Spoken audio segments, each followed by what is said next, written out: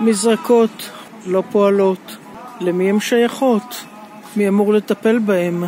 האם הגרנד קניון או שעיריית באר שבע?